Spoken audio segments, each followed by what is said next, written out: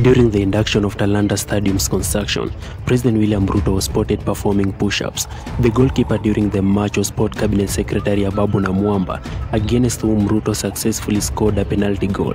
During his circle at the launch event for the upcoming stadium in Nairobi, scheduled to be built at Jamhuri grounds on Gong Road, the head of state demonstrated his athletic persona. Before taking the penalty kick against Cabinet Secretary Ababu Namwamba, he performed a couple of press-ups. As Ruto's kick approached, Namwamba was observed striding around the goal post intention. The crowd erupted in cheers and applause for Ruto's score, affectionately dubbing the president as the captain of the Kenyan team. The, the stadium with a capacity of 60,000 is designated as one of the hosting venues for the African Cup of Nations in 2027. On Tuesday, Namwamba and other officials, including Principal Secretary Peter Tum, toward the side Defense Cabinet Secretary Aden Duale was also in attendance during the groundbreaking ceremony.